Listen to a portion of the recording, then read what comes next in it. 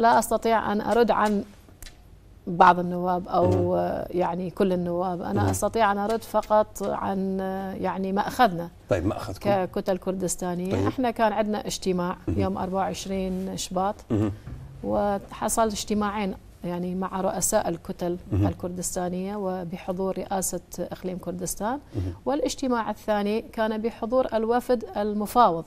من الكتل الكردستانية في آه، بغداد الذي أتى لفترة طويلة واجتمع مع كافة القوى العراقية كافة ممتاز. الكتل البرلمانية طيب. وأيضا اجتمع مرتين مع السيد آه، يعني محمد. علاوي محمد توفيق علاوي يعني خرجنا برؤية أنه نحن نريد حكومة قادرة على إعادة الاستقرار.